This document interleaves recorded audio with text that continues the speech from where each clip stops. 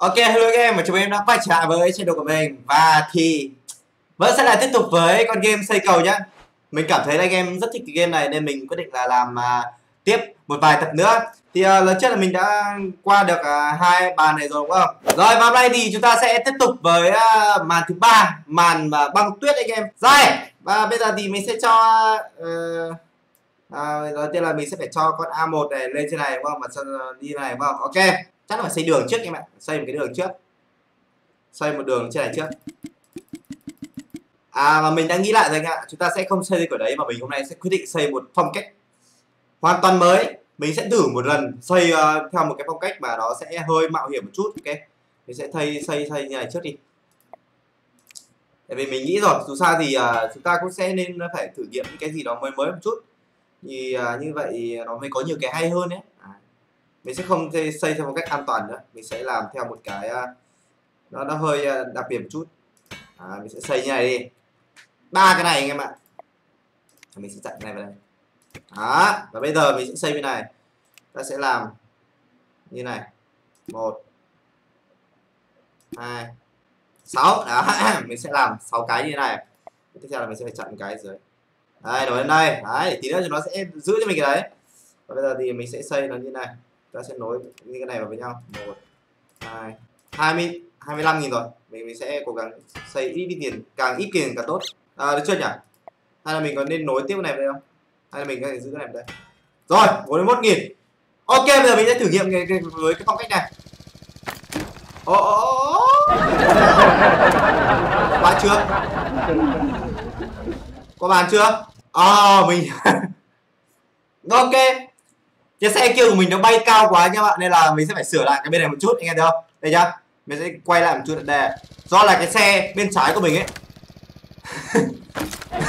Nó bay qua cả cái điểm đấy rồi nên là chúng ta không thắng được. Mình sẽ phải sửa lại một chút thôi. Đây mình sẽ ấn vào đây mình sẽ sửa lại cái này một tí. À, cho thấp xuống là được đúng không? Tí lại. Đấy. Rồi qua bàn luôn anh em ạ. Đấy là phong cách của mình dù gì chúng ta chỉ cần qua bàn thôi đúng không? Nên là mình không phải xoắn những cái này. À bàn thứ hai nào anh em có thể thấy không? Đây là hình như đây là xe cảnh sát này và đây là xe đua này giống kiểu cảnh sát bắt trộm ấy. Chúng ta sẽ phải cho A1 lên trên cao nhất. Sau sau đó là cho A2 lên cái thứ hai và cho A3 vào cái này.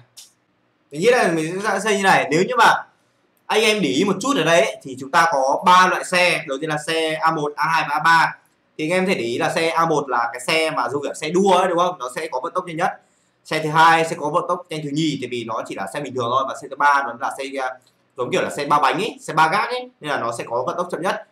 Nên là chúng ta sẽ không cần phải xây ba đường khác nhau mà mình chỉ cần xây một đường thôi.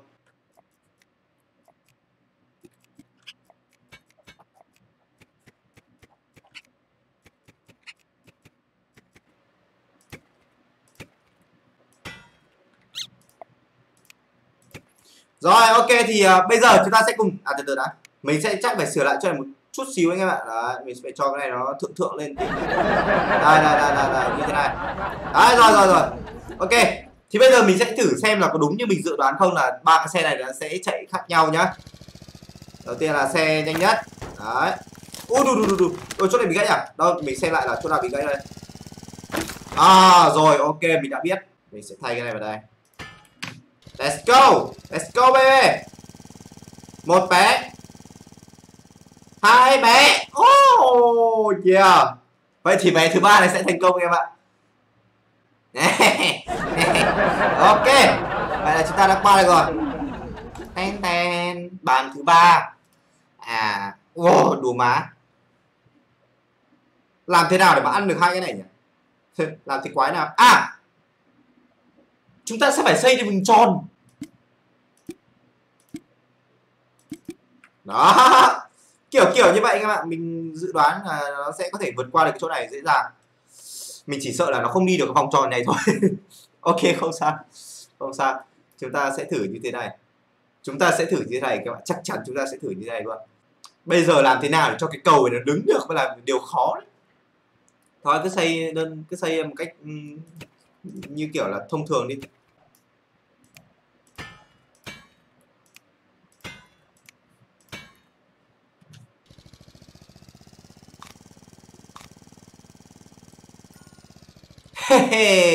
ngon anh em ạ ngon luôn. Um, ok thì bây giờ mình lại sẽ sâu hàng cho anh em xem là mình đã làm như nào. Đây đây đây đây.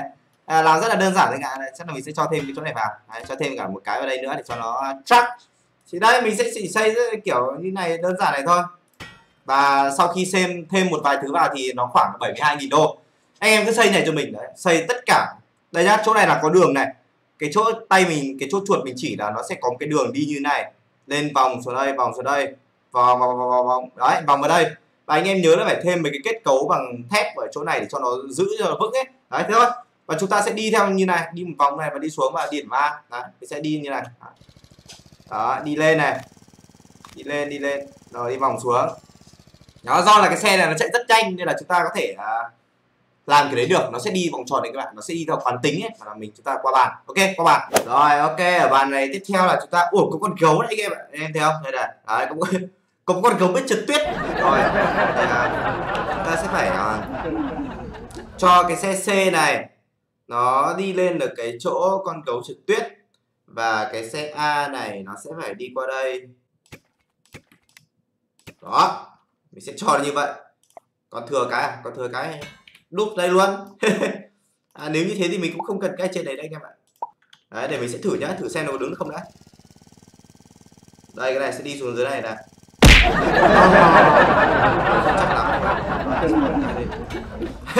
thế này là siêu chắc luôn rồi.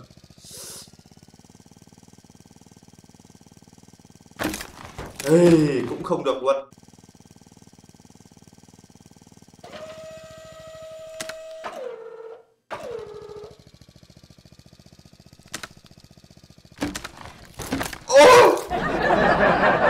Ngon luôn anh em ạ. Ngon luôn. Ok ngon luôn. Đấy thì uh, mình đã đổi một chút rồi. Anh em hãy đổi hai cái này giống như mình để về sau ấy nó sẽ kéo cái thanh này lên và nó sẽ đẩy cái này cao lên và khi đó thì cái uh, cái xe xanh đằng sau này nó sẽ bay lên được. Đấy bàn thứ năm. Bàn thứ năm là chúng ta sẽ phải cho một à, cái xe này đi qua và làm thế nào đó và để đi qua được hẳn cái cầu này luôn. Và chúng ta có 60.000 đô. Đó đi qua được luôn này mình cứ tưởng là mình chúng ta sẽ mở cầu gì đó nhưng mà không cần thiết em ạ à, mình chỉ cần làm đủ cho 60.000 đô là được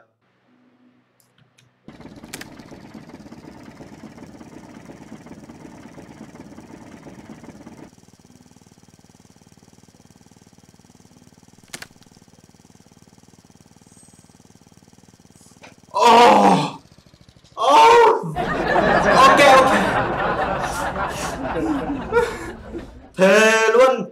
Cuối cùng thì mình đã qua được cái bàn này rồi. Oh.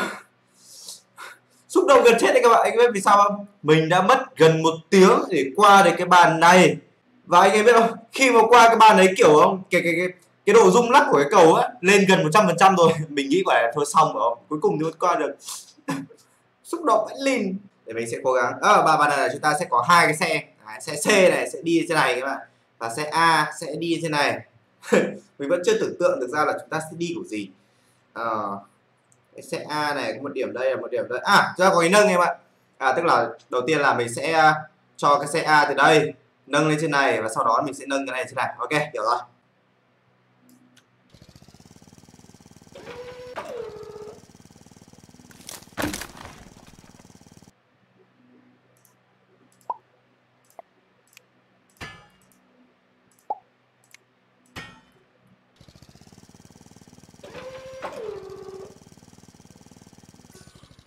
ok và cuối cùng thì đã qua được rồi. Mình à, sẽ lại chia sẻ với anh em. Đầu tiên là mình định dự tính là chúng ta sẽ xây một cái đường đi lên này, đúng không? Sau đó thì mình sẽ nâng lên, nhưng mà không phải. Mình sẽ chơi theo kiểu bập bênh em ạ. Đó. Chúng ta sẽ dựa vào cái chốt màu đỏ này để làm cái bập bênh. Và sau đó thì khi mà chúng ta đi này rồi, thì mình sẽ à, kiểu bập bênh ấy. Đấy đấy. Kiểu bập bênh ấy em. Kiểu như này này. Mình không biết tả như nào, nhưng mà nó là thuộc cái kiểu bập bênh. Đó, ok. Như vậy là chúng ta đã qua được. Bài này khá là dễ. Không bù cho bàn thứ năm anh ạ. Bản năm khó PKL luôn à, bản 7 bản 7 là chúng ta sẽ điểm A. Đi, đi của quái gì? Điểm C đi đến đây thì dễ không mà điểm A từ đây ra đi đến đây này. Mình vẫn chưa tưởng tượng được ra là chúng ta sẽ đi kiểu gì nữa. Điểm A đi đây này. Rồi đây.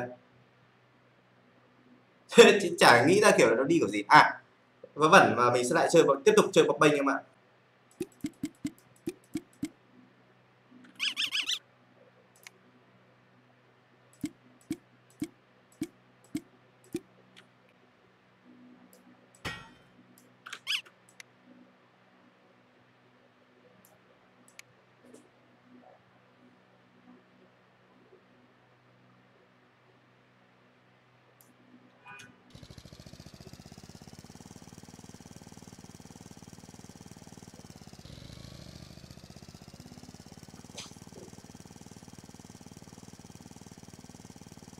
Quá không quá không ok. Và cuối cùng thì lại qua rồi anh ạ. Này mình đã xây kiểu như này kiểu đầu tiên là mình kiểu cũng tính là sẽ xây hai đường nhưng mà mình nghĩ rồi. Cái xe này của chúng ta chỉ cần đi xuống thôi thì mình sẽ thêm đường đi xuống. Và sau đó thì cho cái xe này bằng giống như kiểu là nó sẽ đập vào cái này và nó sẽ bị trượt xuống ấy. Đấy. Cũng không có gì là cao siêu lắm. Đây đây đây.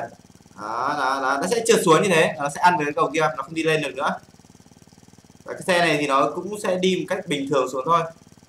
Sẽ đi rất là kiểu bình tĩnh. Đó ngon. Qua bàn. Bàn đề tám wow. Chúng ta sẽ chơi theo phong cách là hai cái ờ, khí khí khí cầu đúng không? Chúng ta có nhìn đây. À mình không được xây ở đây à?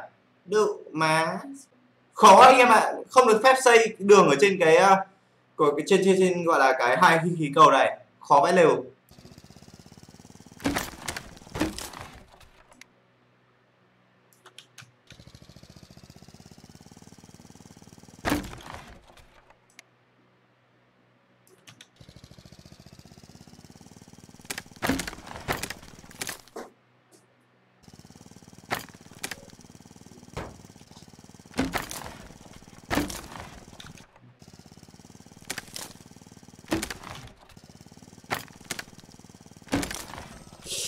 Oh! Wow!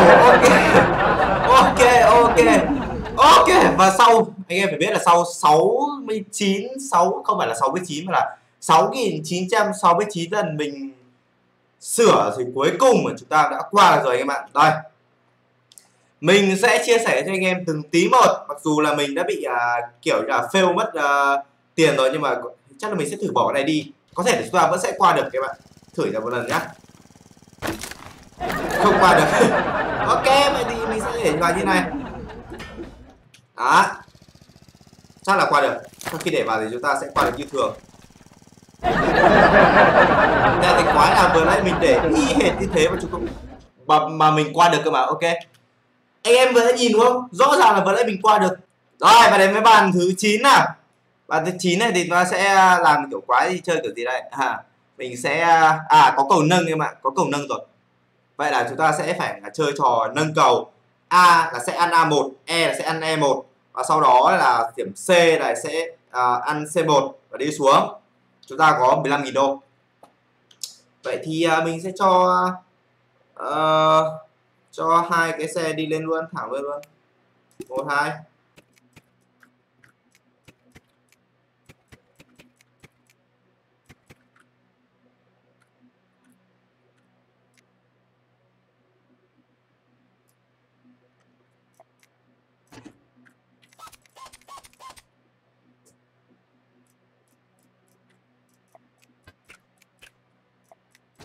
Được rồi và bây giờ thì à, bàn thứ 9 hay bàn thứ à, ở đâu bàn thứ 9 đúng không?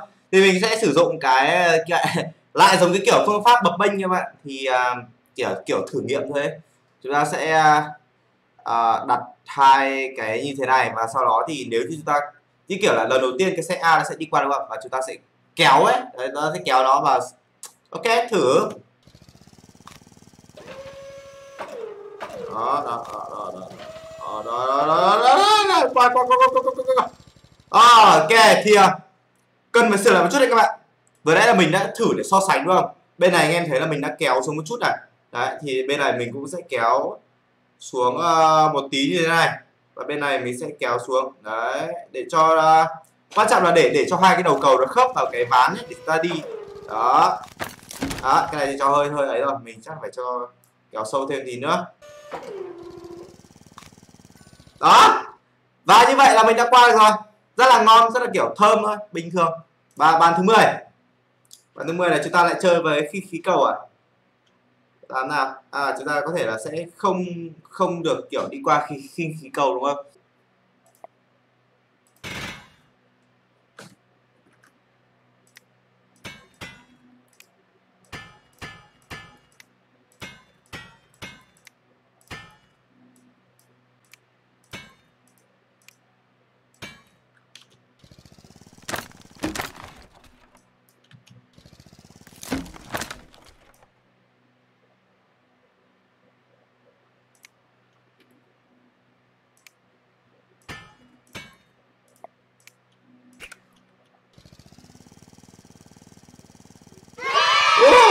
Tom Bài này thì uh, mình đã vượt qua được nhưng mà hơi thốn một chút là chúng ta sẽ giống như là cái gì nhỉ? Mình uh, kiểu vượt quá tiền ấy vượt một hơn một nghìn đô thôi nhưng mà dù sao thì cái gì đây? Cái quái gì này? Cái đụ 65.000 đô và nó bắt chúng ta phải xây một con đường. Anh em anh em hiểu cảm xúc của mình không? À, kiểu một con đường vãi lìn. Ok, bây giờ thì chúng ta sẽ thử à, cái phương án này xem nó như nào nhá, bàn 11 anh các bạn. mình à, hơi lười xây nên mình quyết định là xây theo kiểu caro này luôn cho nhanh. Chả biết có qua được hay không nhưng mà chúng ta What? nó sẽ đi qua đây. Ồ ồ ồ ồ. Bị thấp hơn các bạn, bị thấp hơn chỗ này này. Vậy là chúng ta sẽ phải xây cao lên một tí à. Và sau một hồi xây dựng mệt ve lù luôn thì anh em có thể thấy là cái thiết kế hiện tại của mình y hệt con mẹ lớn. Cái thiết kế ban đầu mà đã fail đúng không? Nhưng có một cái điều khác là mà nãy anh em để ý ấy, thì là cái đường của mình này, nó thấp hơn một chút đúng không? Do là cái là cái xe này nó nặng quá, khi mà nó rơi xuống ấy, thì nó sẽ khiến cho cái ờ, cái cái kết cấu của mình nó bị gãy. Nhưng bây giờ mình đã đẩy lên cao một tí rồi và hy vọng rằng nó sẽ qua được. Thử nhé đấy đúng không mình kiểu biết cây mà. Nó sẽ chỉ rơi vào cái trường hợp là khi mà chúng ta để thẳng như này đi qua thì đi qua rất là tốt luôn. Còn nếu như mà kiểu như là để thấp hơn thì nó sẽ bị rơi xuống mà nó quá tải. Ok ở bàn này thì chúng ta sẽ phải cho hai cái ờ, ở bàn này thì chúng ta sẽ phải cho hai cái xe tải đi qua anh em ạ. Và không còn cái một cách nào khác nữa chỉ là chúng ta sẽ bắt buộc là phải xây uh, nó nó nó nó nó nó nó nó như thế này các bạn chúng ta sẽ xây nó song song với nhau đi. À, chết thật cái này thì có vẻ là hơi, hơi fail quá rồi. Lên đây ok. Chúng ta bắt buộc phải xây uh, mình đoán là bắt buộc phải xây hai cái đường song song thôi tại vì à ở đây này chúng ta có cái kéo các bạn. À, chúng ta có cái kéo đây này. Nhưng mà mình uh, nghĩ ra cái cách xây song song trước mình sẽ thử xây song song trước. Còn nếu không được thì mình sẽ đổi mình mình sẽ đổi sang cái phương án là xây uh, uh, dùng cái kéo sau. Có thể là chúng ta sẽ kiểu đầu tiên là cho cái xe xuống đúng không và về sau mình lại bắt mình, mình sẽ lại kéo cái đầu từ bên này lên. Đấy và sau đó thì cái xe nó sẽ đi qua được. Nhưng mà mình uh, tạm thời thì sẽ chưa sử dụng cái cách đấy bộ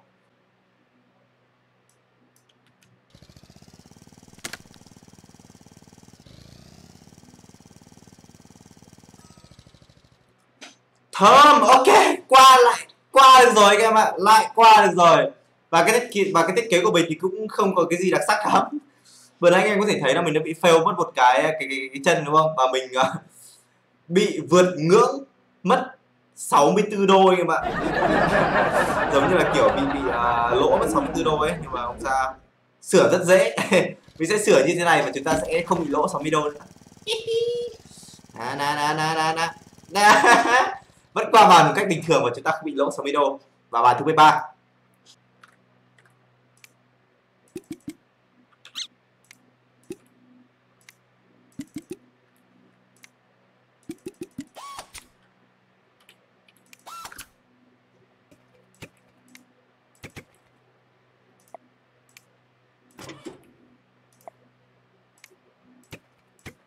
Ok và ở cái bàn này thì mình đã xây dựng rồi. Chúng ta sẽ có hai bước các bạn đầu tiên là à, cái A này nó sẽ đi qua A này và sau đó C1 sẽ đi qua C1 đúng không? Mình sẽ dự tính là cái A đi trước nha và sau đó thì chúng ta sẽ dùng cái cầu nâng này kéo cả cái cầu nâng này lên luôn. Và cái C1 sẽ đi qua rồi. Đấy. tóm lại nó chỉ đơn giản như vậy thôi. À, cũng không có gì nhiều. Mình chỉ sợ là cái sập thôi. Còn cái kiểu, kiểu dự đoán là như vậy không? Còn à, bây giờ chúng ta sẽ ok chúng ta thử nhá. Ok và mình đoán là chúng ta sẽ kéo ít hơn. Sửa lại tí. Ồ, oh, sửa lại tí luôn. Chỗ này chúng ta sẽ cũng sẽ kéo ít hơn đây em bạn. Cái trên kia là rất là ok rồi. Ta sẽ kéo một tí thôi. Oh, qua luôn. Đấy dự tính của mình đúng nhưng mà chỉ có một chút là anh em nhớ phải sửa lại à, cái à, cái kéo để cho nó kéo nhẹ hơn. Bài thứ 14 bài này bài này nhìn đã thấy khó. Bài này nhìn đã thấy khó rồi mình thề luôn nhìn đã thấy khó rồi. Ok ok bây giờ thì ờ, chúng ta sẽ thử nghiệm kiểu như này anh em ạ. À, cái A1 đúng không? Ra sẽ có cái A1 nó sẽ đi đi uh, ăn hai cái này này và nó sẽ rơi xuống cái nó sẽ rơi xuống cái chỗ A1 này đúng không? Và nó sẽ đi qua A1 và A2 thì mình sẽ nâng cái cầu A2 lên thôi. Mình sẽ nâng cái cầu A2 lên. Ok nâng cái cầu A2 lên và chắc là như vậy thôi nhỉ? Vậy thì có vẻ như cái này hơi thừa. Cái này có vẻ hơi thừa các bạn? Mình sẽ bỏ bớt cái này đi. Cảm giác nó hơi bị thừa thãi quá. Và mình sẽ nâng cái này lên. À! Cả hai cùng đi một lúc em ạ. Ok. Cả hai cùng đi một lúc. Ờ vậy thì mình sẽ phải thêm cái kia vào rồi thì ra là cả hai cùng đi một lúc, mình đã tưởng từng cái đi một. Ok, cả hai cùng đi thì mình sẽ đặt như này vậy. Chúng ta sẽ cái đục má đó. Là cái nhà vậy, thử lại cái. Tại như nào what? À hiểu rồi. Hiểu rồi, đây, chỗ này sai có chỗ của mình sai. Mình sẽ thử lại. Đấy, tình hình là chúng ta sẽ kéo cái này xuống mạnh hơn như thế này. Mình sẽ thử từ bên một. Đó được rồi và bên này thì mình sẽ kéo lên cao hơn. Kéo lên cao như này luôn. Đó thế là cái quái nào? Đó đúng rồi. Cho, chúng ta đã sửa đúng anh em ạ và bây giờ mình kéo cao hơn